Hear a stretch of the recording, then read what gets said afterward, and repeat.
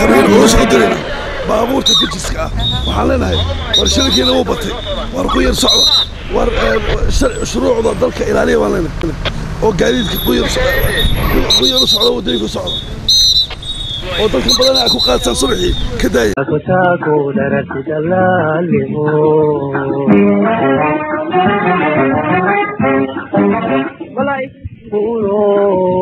wax ku dhiba ilaahay soo dhaweeye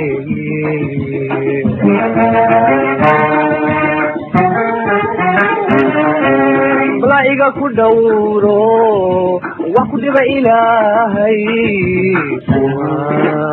soo dhaweeye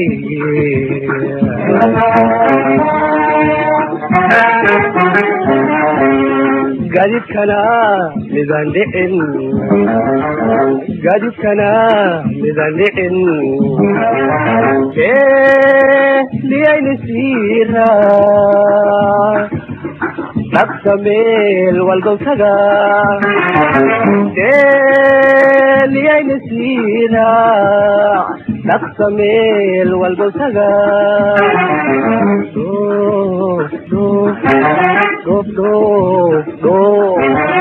dhoob noole kulante hadhan cashaga dhaqso iigu soo noqo soo noqo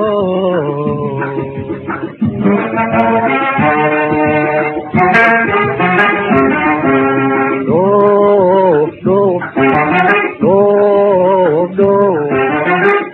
noole kulante hadhan taalin cashaga dhaqso iigu soo noqo soo noqo bismillaahi raxmaani raxiim kulanti wacan oo wanaagsan daawadayaal meel kastoo aad ka joogtaan daafaha caalamka kuna soo dhawaada barnaamij gaara oo idiinka imanaya xarunta telefishinka qaranka jamhuuriyadda somalilan uu kuleeyahay magaalada hargeysa. Barnaamijkan gaarka ah waxaynu ku eegi doonaa ama ku lafaguri doonaa intaynu ku guda jirno. Shirkadaha gaadiidka ee u kala baxa gobollada dalka bariga iyo galbeedka. Shirkadahan gaadiidka oo sanadihii ugu dambeeyay laga hirgeliyey guud ahaanba dalka jamhuuriyadda somalilan. Haddaba shirkadan aynu ku sugannahay islamarkaana aynu ku eegano waa shirkada u baxda bariga somalilan. Waxaynu weydiin doonaa mulkiilaha shirkadan sahan. Sababaha ay ku kaliftay in ay sameeyaan shirkad gaadiid iyadoo markii horeba jireen gaadhiyo u baxa noohooyinka sida aad wada ogtihiin islamarkaana ay u adeegi jireen bulshada. Bal fikiradan iyo ciddii ay ka soo maaxatay iyo sababihii waxaan ku lafakuri doonaa mulkiilaha shirkadan sahan ee u baxda bariga somalilan walaal ku soo dhawow marka ugu horeysa magacaaga adigoo ku bilaabaya iyo tv-ga qaranka. Bismillaahi raxmaan raxiim waan dhowahay magacaygu waa cabdiqaadir xasan xaamuud shirkadan waxaa iskale dad fara badan oo isku tegay. Markii horena ahaa dadkii watay gaadiidkan yaryar ee noohooyinka baahida keentay in loo in la sameeyana. Waxaa weeye markii la arkay baabuurtii yaryarada noohooyinka ahaa inaysan taraagii dheeraa aysan ka baxayn dadkii ciriir iyo wax ku hayaan dadweynihii uu soo kordhiyey cabashadooda ay yidhaahdeen waxaan u baahanahay gaadiid waaweyn oo waasaca si nefisana noo geeya. Ayaanu u soo kordhinay baabuurta yaryar ee raaxada leh kuraastoodu habaysan tahay iyagu habaysan yihiin sidaasaanu ugu adeegnaa bulshada waa tahay iminka gaadhiyadan aad ku qaadaan dadka waa gaadhiyo ka waaweyn oo noohadii ka waaweyn. Maadaama ay markii hore kow qoladii noohooyinka ka shaqaynaysay uun isla iminka ay gaadhiyashan waaweyn ay ku bedeleen ma qolo cusub oo fikir ayaa la geliyey oo dad baa ku soo kordhay oo yidhi fikirkan aynu bedelo sidee ku timide maadaama markii horeba noohooyin loogu adeegi jiray bulshada iminkana lagu bedelay in gaadhiyo la sameeyo ka waaweyn kuwii hore wallaahi anaga horta fikradani annaga naga timid. Maskaxdayada iyo maankayga ka timid. Adugu markii hore shirkad waxaa laga sameeyey east and west layaahdo gobollada somalilan bariya galbeedka oo iyadu baabuur waaweyn oo basasa la timid.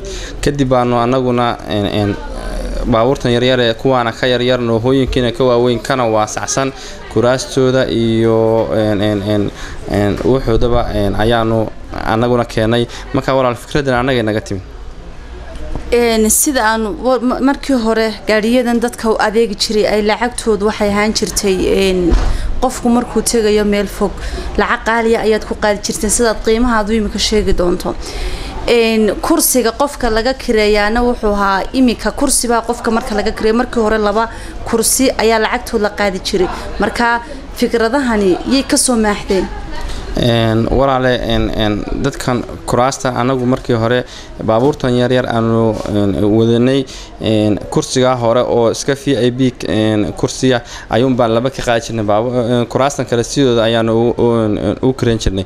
Laakiin qiimihiina wuu isdhimay oo baabuurtaasu batrool bay ahayd wayna ka yaryarayd kuwana waa dhiisal dhiisalku wuu ka jaban yahay qiimahooduna wuu ka jaban yihiin. Halkii garowe loogu tegi jiray markii hore afartan iminka waxaan ugu tagnaa shan labaatan halkii laascaanood loogu tegi jiray een, soddon dollar. Iminka waxaan ugu tagnaa een, shan iyo toban.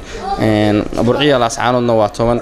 Dadkuna saasay ku qanacsan yihiin een, kuna raali yihiin waayo baabuurku wuu ka qaadwan yahay wuuna ka kuraas waasacsan yahay. Idinka markaa faa-iida mayniigu jirtaa?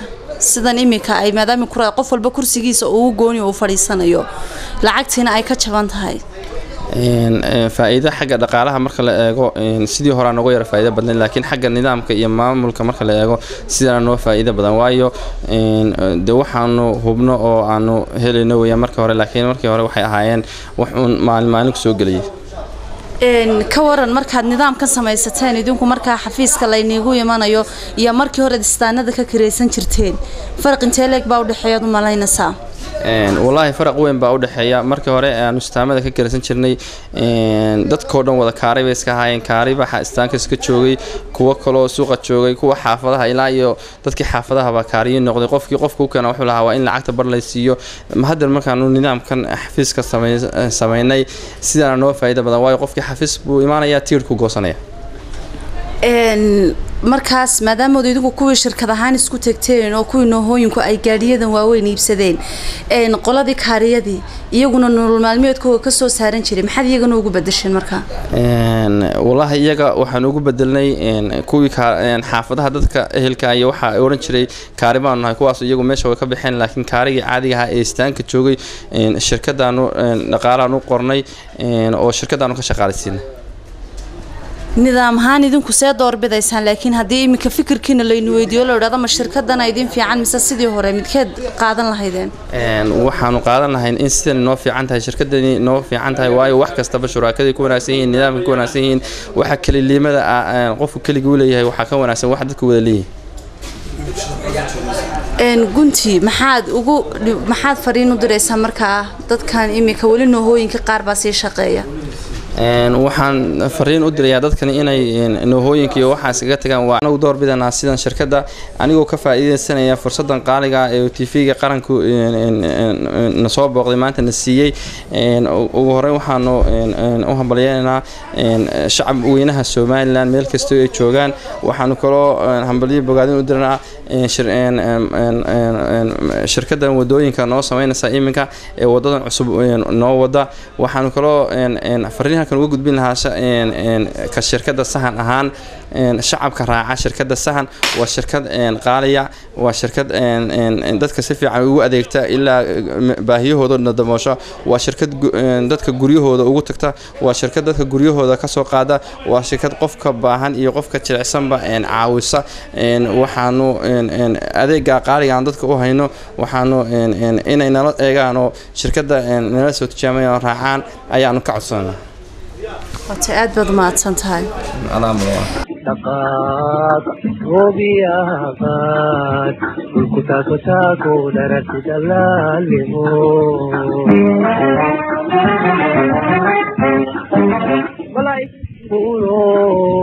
wax ku dhiba ilaahay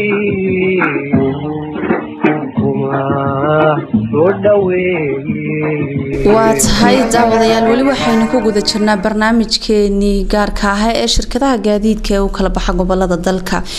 Haatan waxaan ku suganahay shirkada socdaalka ee bariga iyo galbeedka u kala baxda islamarkaana ay tahay shirkadii ugu horeysay ee laga bilaabo inay shirkad ahaan ku bilowdo inay u kala baxdo gobollada dalka.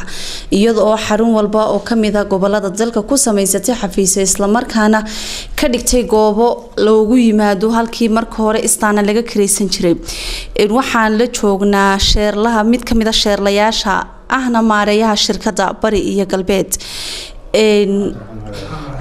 Cabdiraxmaan ku soo dhawo marka ugu horeysa t v-ga qaranka jamhuuriyadda somalilan waxaad ka warantaa bal horta warbixin guud shirkadan bari iyo galbeed waqtigii aad aasaasteen. Bismillahi raxmaan raxiim alxamdulilah aad iyo aad baad u mahadsantihiin. Runtii aad iyo aad waxaan u mahad celinayaa telefishanka qaranka oo maanta nagu soo booqday xaruntayada bariga galbeed xarunta guud ee shirkadda. Aad baan ugu mahad celinayaa runtii waa wax qiimo badan. Haddaan ka jawaabo su'aasha ayadaa shirkaddu iminka ilaa saddex sano badh ayay jirtay. Aasaaskeeda ama waxay ahayd ilaa labadii kun iyo saddex tobankii afar iyo tobankii intii u dhexaysay mar ay la diyaargaraynayay iyo mar ay bilaabantayba markaas waqtigaas aanu aanu aanu shirkad ahaan aanu runtii bilownay markii ugu horeysay fikirkani xaguu ka yimid shirkadin la asaaso maadaama tii ugu horeysay ee laga bilaabo somalilan aad ahaydeen in intii gaadiid la soo sameeyo xafiis loo sameeyo darka xafiis lagu diiwaangeliyo islamarkaana qof walba halkii qofku uu laba kursi kala kursi aad ka siisaan. Waa su'aal aad iyo aada u qiimo badan runtii oo aada u fiican. Inta badan wadankeena fikirka lala yimaadaa waa fikiro dibadda laga soo arkay oo dadkan dibadda tegay. Ay runtii ay soo arkeen dabeetana ay jeclaystaan in ay wadankoodii hooyo ay waxa ay dibadda ku arkeen quruxda badan leh ay fuliyaan. Waa laga yaaba fikirku inuu dad badan ku jiray laakiin runtii ninkii waaqac ka dhigay ee socodsiiyey markii ugu horreysay ee fikirka la yimi ee wadanka geliyey ee sharciyeeyey maxamuud nuur ducaale ayuu ahaa. Waa waxa weyaan waa odayaasha ugu sarsareeya ama ninka ugu sareeya shirkadda boodhka chairmanka boodhka weeyaan. Ninkaas isagaa baa lahaa. Waxaana ka timi oo runtii aan fikirkan isagaa laga soo qaatay. Markii qofku isagoo dibadda ka yimi oo uu safarku safraayo basas waaweyn oo maxaan idhaahdaa kursi keliya uu leeyahay oo runtii de qurux badan oo safar wanaagsan uu ku safraayo oo qofku aanu dhibaato dareemaynin ayaa halkan markii la yimi. Ayaa gaari yar oo taxiya oo markaad kursigii hore oo keliya qofku lahaa laba qof ama saddex qof la saarayo fikirka isagaa markii runtii la arkay ilaahay khayra ninka odagii arkay waxa ku dadaalay oo uu sameeyey fikirkan isagaa waanu hirgalay marka hore caraaqil badan baa nagala kulantay oo waxaa laga yaaba baskii burco ilaa hargeysa tagaaya in laba qof oo keliya mararka qaarkood ama hal qof oo keliya ku dhaqaaqo. Laakiin waa laga midhadhaliyo waa la sameeyey runtii. Haddana meel fiican bay maraysaa. Maadaama tihiin aada hooyaba u tihiin de shirkadihii. Ay shirkado badan iminka niga daba aasaasmeen. Maxaad markaa maxaad idinku kaga duwan tihiin waxyaabaadkaanu kaga duwanahay waxaa ka mid a horta inaanu nahay dadkii fikirkaba keenay. Oo had iyo goor qofka fikirka ku dhashay iyo qofka ka koobigaray waa waa kala duwan yihiin oo runtii waa kaga duwanahay. Oo wax badan oo anagu aanu sii arkayno oo aan ahayn intanoo keliya waanu kaga duwan aanu keeni doono insha allah. Waxyaabaad kale aanu kaga duwanay wax ka mid a anagu waxaan nahay shirkad runtii dhammaystiran. Waxaan filayaa dadka shaqaalaha noo ah ee maanta noo shaqeynaya inay ilaa boqol iyo konton qof ay yihiin. Gobolladana ay ka wada shaqeeyaan oo meel kasta ay joogaan. Shirkadaha kale waxaa laga yaabaa shaqaaleyntaa leeg inaanay lahayn. Xafiisyada meelahaan ku leenahay waa meelo ballaaran oo bari iyo galbeedba ah waa taa lafteeda waanu kaga duwan waxaa laga yaabaa shirkadaha kale inay wixii shirkad ahaani inaan meel walba ka jirin. Runtii waxyaabaad kale aanu kaga duwanahay waxaa ka mid ah in aanu keenay basas basas raaxa ah oo basaskii adduunka lagu arki jiray. Maxaan idhahdaa inaanu keenay oo aan ugu talagalnay inaanu safarka iyagu noqdo meel kasta oo somalilan ka mid a weliba intaan somalilan dhaafno runtii aanu gaarhayno ilaa iyo east africa oo dhan qorshuu noogu jiro waxyaabaadkaanu kaga duwana waxaa ka mid ah inaanu diiwaangelinihii waddanka dhacday ilaa iyo ceergaabo shirkadda keliya ee ka qayb qaadatay ilaa ceergaabo ilaa iyo sool socotay ee runtii u fududaysay dadkii isdiiwaangelinayay inaan nahay waxyaabaad kale oo runtii fara badan oo anaga nagu jira oo aanu isleenahay dhawaanaha dhow sameeyana waanu kaga duwanaan doonaa. Iyada lafteeda waxaan kaga duwanaa xagga qiimaha oo runtii aanu isleenahay aad baad uga duwantihiin waxaad sidii hadalkaaga ka muuqatay waxaanu u sameynay dhalinyarada dartood qiimo dhimis taasi balyada ka waran runtii waa arrin aanu sameynay waana arrin aada ugu faraxsanahay inaanu dadkayaga ama dad waaweyn ha noqdaan ama dowladda ha noqoto ama dhalinyarada ha noqoto inaanan had iyo goor shirkadeedu aan ahayn dad gaara inaanan taargad garayn. Laakiin mar walba aanu dad dad mujtamac oo dhan aanu taargad garayno oo aanu isniraan wax u fududaydiya. Saan kuu sheegayo hore waxaanu u fudaydinay diiwaangelintii oo aanu anaga iyo dowladda iyo anaga iyo runtii axsaabtuba aanu ka wada qayb qaadanay maanta markay ciyaaru yimaadeena waxaanu aada iyo aada runtii u jeclaysanay. Dareenka ah inaanu dadka dhalinyarada ah iyo dadka ciyaaraha jecel aanu u fudaydino oo ay iman karaan goobtii lagu ciyaarayay. Marka gobollada wadanka oo dhan bariya galbeed meesha kastoo shirkadaas tagto. Laba doolar oo keliya gobol kasta gobol ilaa iyo gobol. Qiimo dhimista noocaasa baanu sameynay waananu ku faraxsanahay dadkayaga inaanu runtii aada iyo aada ula shaqeyno ma isleedihiin markaad sidaa bulshada aada ula dadaaleysaan inaad shirkadaha kale ka horumareysaan? Runtii haa kalsooni badan baanu ku qabnaa shacabkayaga waa waa un waa sidaa dad aada u heshid. Anagu waxaanu nahay uma samaysnin inaanu lacag helo oo keliya ama shirkaddu ay lacag hesho saan kuu sheegaya dad fara badan baa shaqaal ka helay oo dhalinyaro ah oo dad waaweyna oo darawaliina oo makaaniyiina ayay shaqo ka helay. Saas leeg waxaanu fudaydinaa ama dowladdu ha wadato brograamyada ama barnaamijyada ay wadato ha noqoto oo aanu gobollada dhexdooda uga fulino. Amaba ha noqdo dadweynaha san ciyaarahoo kale wixii la mid a maadaama aanu saa nahay hadda lafteeda waxaan dareemaynaa inaanu runtii aada iyo aad ay dadku ay noo jecel yihiin. Insha allahu aan noqon doono shirkadda keliya ee dadka iyo iyagu ay isdareemaan inay yihiin inay bulshadu dee wax gaara u qabanayso. Ayaan ayaan ayaan rajeynaya insha allah ugu dambeyntii maxaad ku goobaabinaysaa guud ahaanba bulshada iyo shacabka ku dhaqan jamhuuriyadda somalilan waxaan ku guubaabinayaa horumarku ma aha oo keliya wax dowlad laga filo. Runtii horumarku waa wax dadku sameeyaan intaan ku guubaabinaya dadweynaha reer somalilan meel kastay joogaan oo maanta ay dhegaysanaysaa waxa weeyaan horumarku waxa weeyaan wax kasta oo qofku uu wadankiisa ku horumarin karo. Marka runtii anagu waxaanu sameynay tan waanu sameynay. Brogaraamyo ama barnaamijyo kale oo runtii horumar wadanka u noqon kara oo sida insurance la sameeyo kale sida dalxiis xiise leh oo ka duwanka iminka dadku sida shaksiga u socdaan oo aanu soo wadno oo kale sida runtii barnaamijyo kale oo fara badan aanu isleenahay wadanku hore hogu maro waanu wadnaa.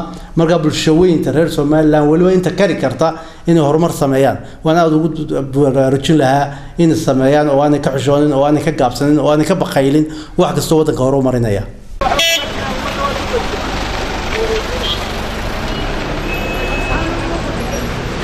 inagoo kusii guda jirno daawadayaal barnaamijkeeni shirkadaha gobolada u kala goosha ayaanu haatan waxaa ku suganahay baska u baxa magaalada wajaale waa mid ka mida rakaabada fuushan islamarkaana ka waramaysa adeegyada ay ka hesho iyo isbedelka ay dareemayso walaal kusoo dhow mar hore tv-ga qaranka waxaan ku faraxsanahay adeegyada cusubeeda noo sameeyey marka aynu ku tegayno magaaladeeda wajaale aadna wala looga jebiyey noolki laga badan badan ugu soo qaada bal ka waran markii hore intaad ku tegi jirto noolka iyo waxa faraqa u dhexeeya iminka iyo noolka iyo safarka masaafada imanka waa nimca weeyaan shaqaysuma la yidhaahdo maxaad ku hambalyeynaysaa markaa shirkadaha waxaan ugu hambalyan in ilaahay u barakeeyo ay saa dadka ugu gargaaraan Ay.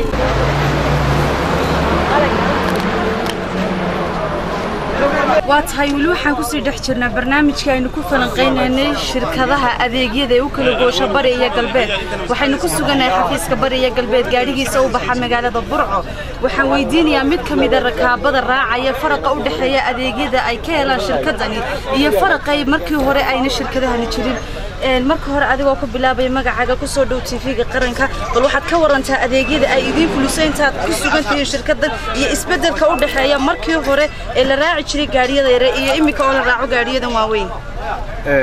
Marka hore waxa la yidhaha horta jaac maxamed yuusuf baa la yidhahdaa marka hore. Waxa weeyaan waqtigii hore ee gaadiidkani ayna jirin. Dadku dhib aad iyo aad u weyn bay ayay ku qabeen isu socodka xagga gobollada waayo qofku lacagta ugu yar ee uu gaari ku raacayay ilaa shan iyo toban doolar bay ahayd ilaa laba iyo toban doolar iminkana maantana waxaan ku saaranay laba doolar baan ku saaranay marka dee wax isu dhow maaha wax ilaahay loogu shukri naqa weeye. Isbeddel aad iyo aad u wanaagsan weeye. Waanaanu hambalyeynayna waanaanu ku kalsoonahay waanaanu jecelnahay gaadiidkan aan shirkadda intaa nooga dhigtay qiimo dhimista intaa leh. Ee labada doolar aan ku saaranahay marka waxaan u rajaynaynaa dee guul baan u rajaynaya bal xagga ka waran xagga kuraasida iyo socodka. Kuraastu wax cidhiidhiya ma laha. Waxa weeyaan qof waliba kursiga loogu talagalay unbuu ku fadhiya keligii isagoo wax een, cidhiidhiya aan qabin. Alabadiisana meel loo saarayo wanaagsan oo ammaana marka xaggaasna aad iyo aad bay uga wanaagsan yihiin macaamilka xagga dadweynaha iyo tanaasilaadka ay u samaynayaan intaba aad iyo aad bay ay ugu mahadsan yihiin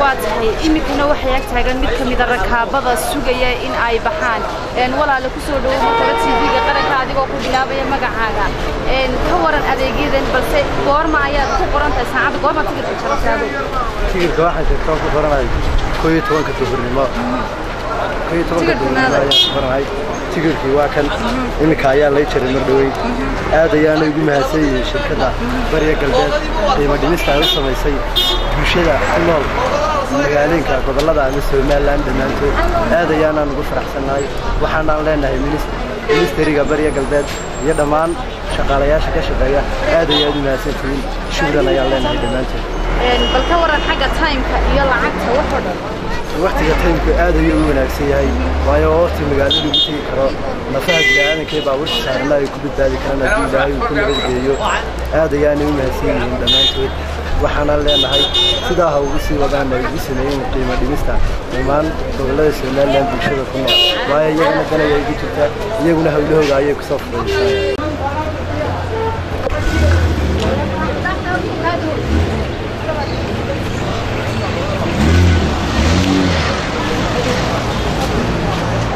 waa tahay daawadayaal weli waxaan sii dhex tibaaxaynaa barnaamijkeenii horumarka aynu ku eegeynay shirkadaha gaadiidka ee laga hirgeliyey dalka jamhuuriyadda somalilan. Iminkana waxaan ku sugannahay shirkada socdaalka ee galbeedka somalilan ee sahal markii shirkadahan la aasaasay waxa ay qeyb ka qaateen saboolnimada iyo shaqo-la-aantii baahsaniid ee ka jirta dhalinyarada marka gobol kasta oo kamida dalka jamhuuriyadda somalilan loogu sameeyey xarun iyo xafiis waxaa halkaasi ku yaraanaysa shaqo-la-aantii ka jirtay shirkad kasta oo ka mid a shirkadahani waxay iyadu ku leedahay xarun islamarkaana ay ka shaqeeyaan shaqaale.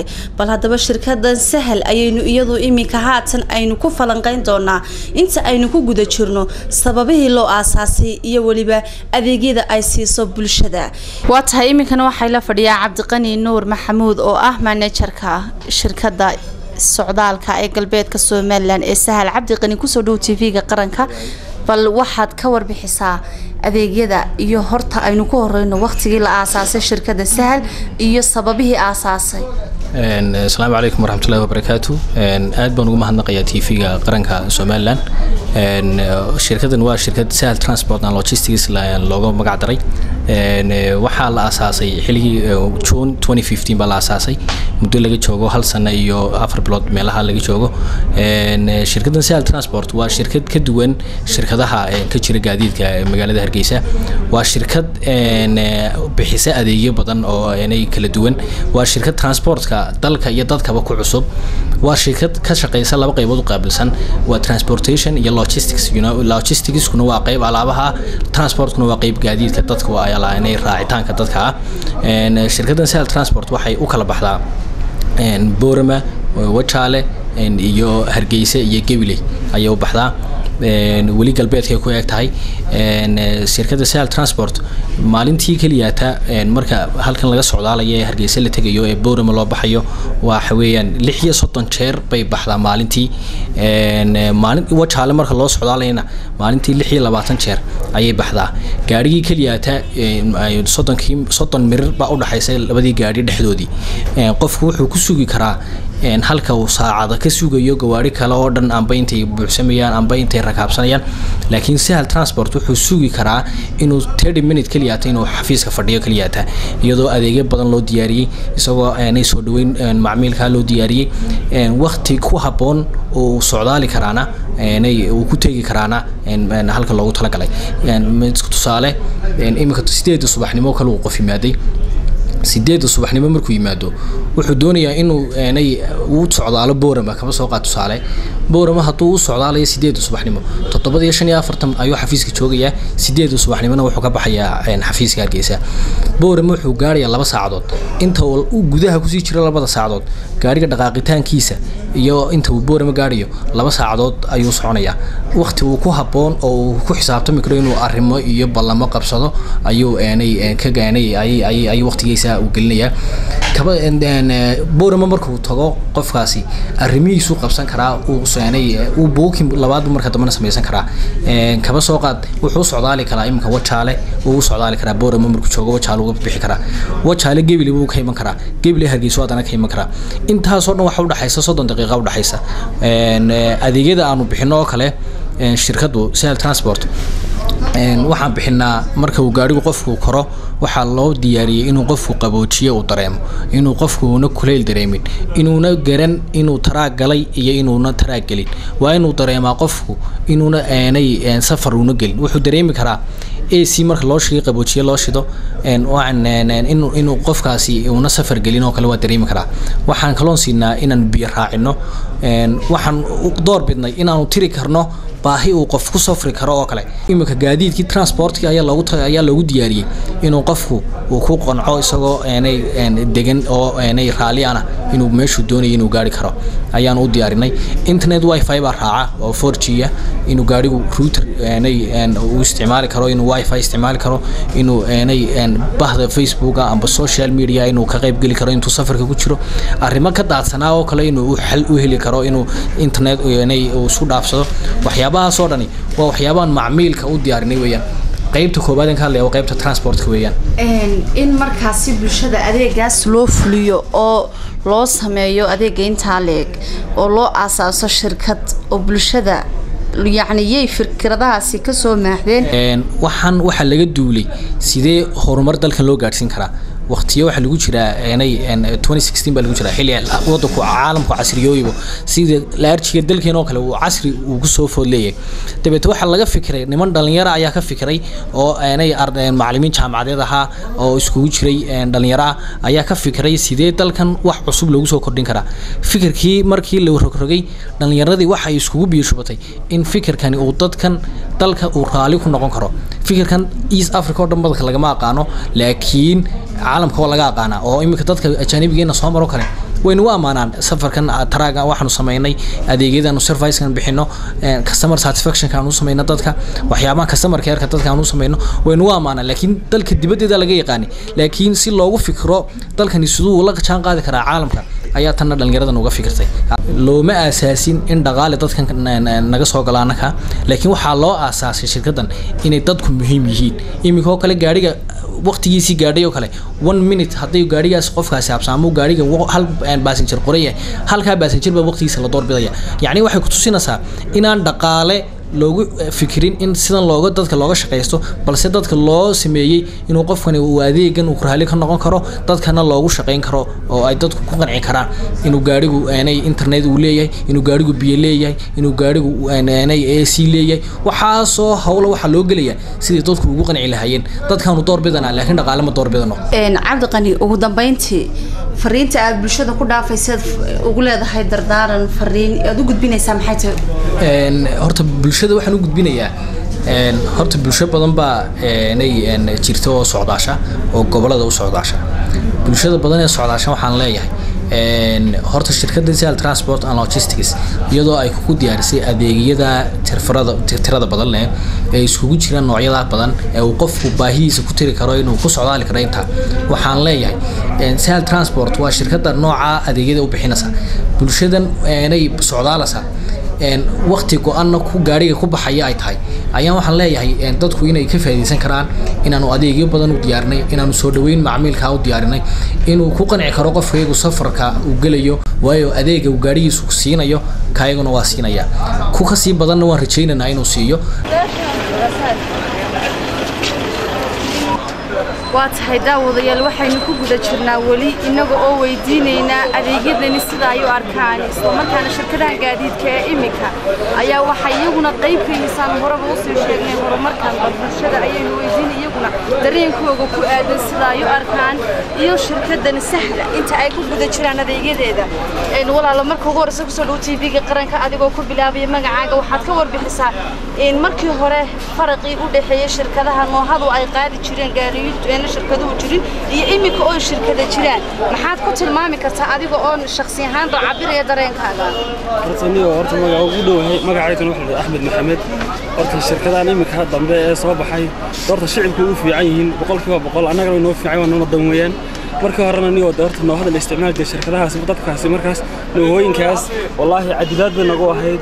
Waayo dadkii maxaan ku rahdaa noohadii oo shan doolar la bixinayo ama lix doolar la bixinayo oo haddana meeshii aad doonaysay rafaad aad ku tegayso jiiri aad ku tegayso iminka boqolkiiba boqol kursigayga nifis baan ku fadhiyaa waxaan kuli biyaa ku teg biyaa lay siinaya bilaash internetkii bilaash la isticmaalayaa boqolkiiba boqol wallaahi waxaan ku leeyahay horumar la gaadhi weeyaan jira gaadhiga ac la qabow baa noogu jira uma baahnin daqayno loo furo nefis baan ku tagnaa inaan waxaan moodnaa aniga gurigayga iska joognada si nefisaan ku tagay annagoona siigana gaadhin oo aan wax gaadhin oo wax daal rafaadna midna aan gaadhin ayaana marka ka dhacdhacno si nefisaan u tagnaa oo welina iska raaxaysanaya waa tahay daawadayaal waxaan sii dhex tibaaxaynaa barnaamijkeenii aynu ku eegaynay shirkadaha gaadiidka. Waxaan weydiin doonaa mid ka mida rakaabka saaran shirkaddan bal sida ay u arkaan adeegyada ay bixiso iyo masaafada iyo waxyaabaha ay dareemayaan. Ku soo dhowow marka ugu horeysa tv-ga qaranka adigoo ku bilaabaya magacaaga. Waxaad ka warantaa bal marka labaadna adeegyada shirkadda sahal iyo masaafada iyo waxyaabihii isbeddelka u dhexeeya faraqan iyo faraqii hore bismi illaahi raxmaan raxiim magacayga waxaa la yidhaha gaashaan la dhexe xasan cabdi ismaaciil ka tirsan kuliyadda saraakiisha cabdilaahi askar. Haddaan imid gaadhiga u imid gaadhigan konfacti waan ku xidhanahay. Ilaa boorama geeyaa waa gaadhi run ahaantii. Dee nin airplane saaran unbaad u dhigmaysaa markaad saaran tahay. Waa gaadhi disiblinkiisa iyo nidaamkiisu fiican yahay gaadhi qashqashaad male amnigiisu waa fiican yahay. Ac baa noo rakiban tirada dadka saaran waa dad iska kooban oo laysla yaqaano. Ilaa boorama markuuna geeyo qiimihiisu waa fiican yahay waa ilaa afar dollar. Run ahaantii I'm very happy know aad buu ii cajabiyey run ahaantii gaadhigani aadna waa ugu xidhanahay waad mahadsantiin intaad ku guda jirtaan adeegyada laynii fuliyo bal ka waran maxaa ka mid ah adeegyada naloo fuliyo waxaa ka mid a dee biyaa nala siiya sometime keeg bayna siiyaan oo aanu ku cunnaa meelahaanu u baahannahay aan wax ka iibsan karno way noo joojiyaan way nagu tixgeliyaan. Waa baabuur dee baarkin fiican buu leeyahay oo aanu inoo ugu hagaagnaa internet wuu leeyahay waa la isticmaalaa dhallinyaradu way isticmaashaa. Qofkii u baahan ilaa uu ka tegayo goobtii uu doonayey waa isticmaalaa internetkiisu waa okay. Aad buu u fiican yahay runtii waa baabuur. Aad iyo aad dadku ugu xidhan yihiin oo u jecel yihiin. Shirkadahan gaadiidka ee la sameeyey waxay qayb muhiima ka qaateen shilalkii inta u badnaa ee gawaadhida ka dhici jiray oo iyagu ahaan jiray mid cabirka ay ku socdaan ku shakhsiga uu wadaa siduu doono u isticmaalo. Islamarkaana shirkadahan ayaa waxay iyagu ku soo rogeen in tiro cayiman lagu kaxeeyo kilomitirka gaadhiga waxayna ka yaraanaya shilalkii iyo weliba dilalkii ku iman jiray dadka isdaba joogga ahaa muddooyinkii ugu dambeysay ee la soo dhaafay waa tahay weli waxaan ku siisanqaynaa barnaamijkani. Aynu kaga hadlaynay dhinaca horumarka iyo weliba shirkadahan cusub ee la sameeyey iyo isbeddelka ay ku sameeyeen. Waxaan haatan la joognaa taliyaha taraafikada faysal xiis. Isaguna bal wuxuu ka warrami doonaa qaybta ay ka qayb qaateen maadaamuu isagu yahay ka ugu xogta dhaadheer ee og shilalka inta ugu badan dhaca isbeddelka ay ka qaateen. Faysal ku soo dhowow tv-ga qaranka. Bismillahi raxmaan raxiim horta marka hore aad iyo aad baa mahadsantihiin.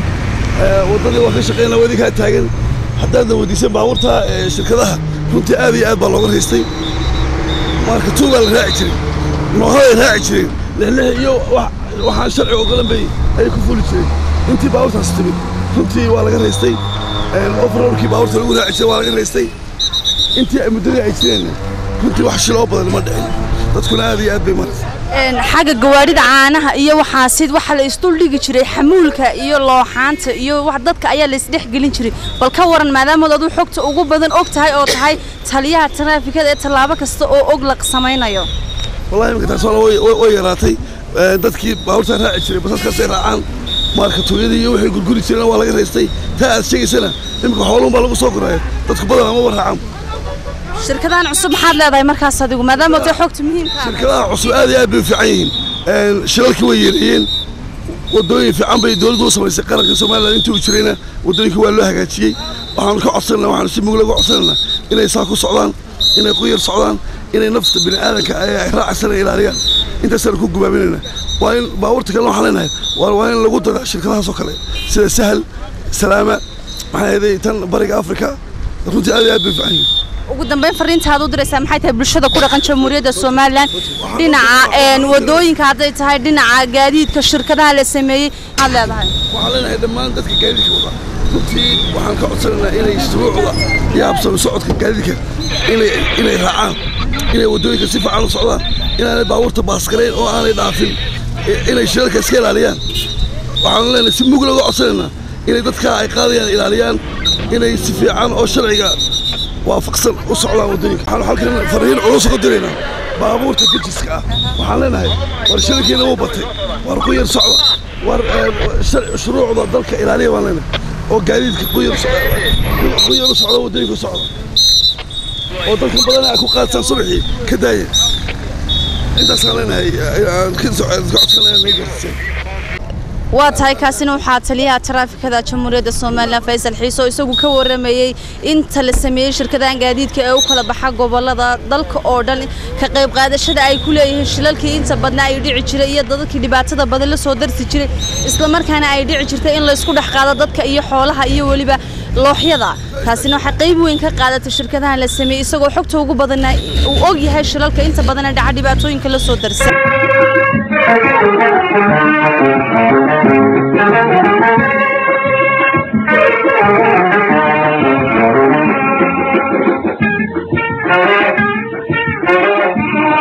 barnaamijkeenii aynu ku eegaynay xagga horumarka iyo shirkadaha gaadiidka iyo waddooyinka waxaan iyaduna meesha ka maqnayn kaalinta ay kaga jirto wakaalada waddooyinka ee jamhuuriyadda somalilan. Waxaan la fadhinaa maarayaha waddooyinka jamhuuriyadda somalilan xasan cali cismaan oo isagu kaalinta uu kaga jiro qaybta waddooyinka inayna jireen haddii ayna wadooyinkan la sameyn lahayn. Inay ku soo dhiiradaan dad rayida oo shicibi inay gawaadhi intay soo dejistaan islamarkaana ay gobollada dalka oo dhan safaro u kala galaan. Bal haddaba kaalinta ay wadooyinku kaga jiraan ayuu xasan ka warami doonaa. Kusoo dhawo xasan t v-ga qaranka adigoo ah maarayaha waddooyinka jamhuuriyadda somalilan. Bismillahi raxmaan raxiim wasalaatu wasalaamu calaa ashraf almursaliin sayidina moxamed wacalaa aalihi wasaxbihi wasalam eh, horta waa mahadsantihiin marka hore mar labaad waxaa xaqiiqa wada ognahay inay eh, wadooyinku ka mid yihiin kaabayaasha dhaqaalaha dalka. Kaabayaasha dhaqaalaha dalka ayay door weyn ay ku leeyihiin weliba oo yihiin meelaha ugu muhiimsan uguna mugga weyn. Eh, waxyaabaha hadda ay fududeeyeen markii waddooyinka la sameeye laysku xidhay wax ka mid a oo had iyo jeerna ah annaga maxaan ku dhahay hadafkayaga isku xidhka bulshooyinka dalka. In dalku isku xidhmo oo dadku isku socdaan oo isdhex galaan. Waxaa kaloo ka mid a hadafkayaga oo dhaqaalihiina soo gelaya shaqo abuur. In dadka loo abuuro shaqo oo wadooyinkaasi maanta inta ay dhismeen waxa shaqo abuurmay. Hadday tahay kuwa brivata ama gaara oo ay ka mid yihiin basaska hadda yimid ee dadka guraya ee qaadaya iyo hadday yihiin badeecadaha soo dega dalka ama magaalooyinku kala baahan yihiin oo si dhib yar u kala gudbaya oo u tegaya runtii. Waxaas leenahay wax badan oo ah hadafkaygii ka mid ahaa ayaa fududaaday.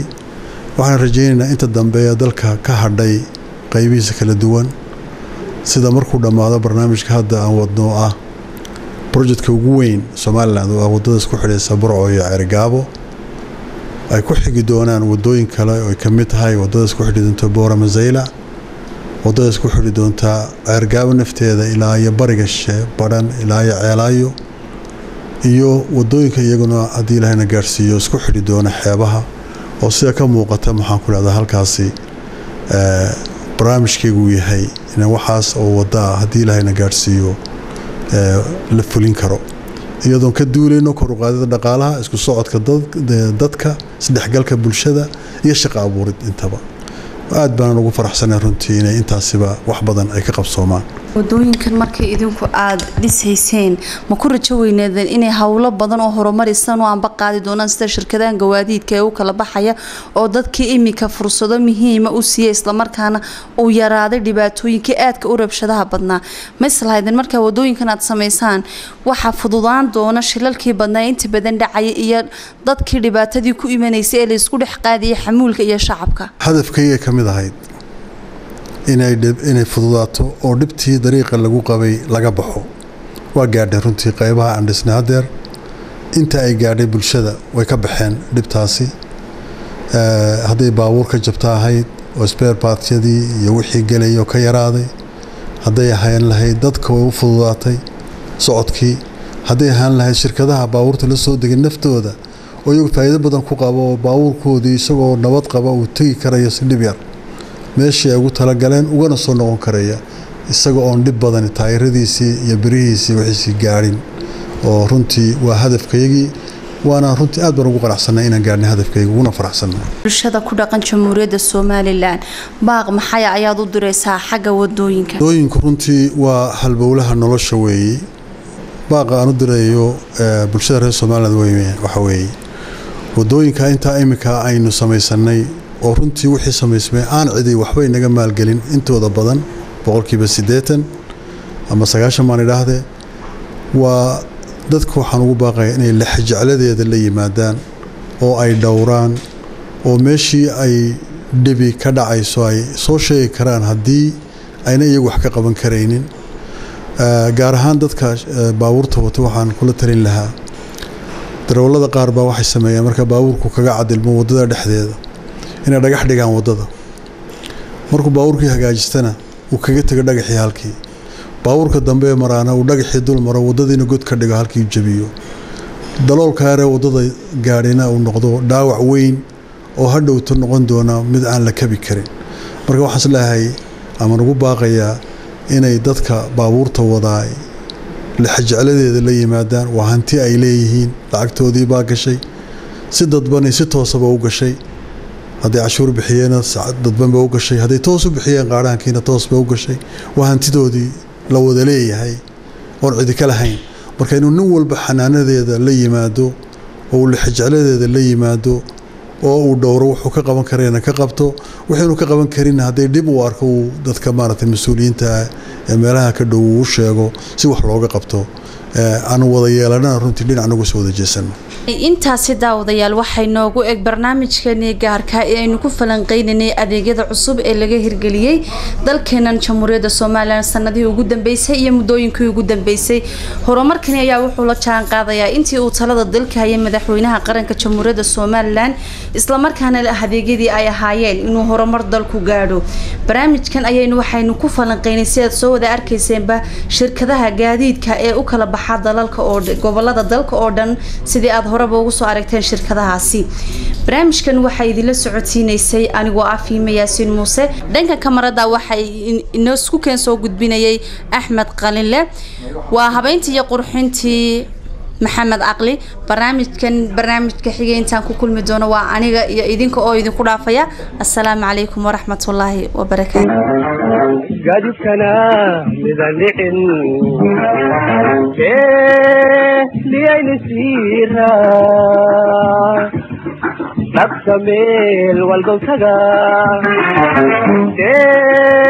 لعين سيرا نبتميل والقوسقا دوب دوب دوب دوب دوب dhoob noole kulante hadhan taalin cashaga dhaqso iigu soo noqo soo noqo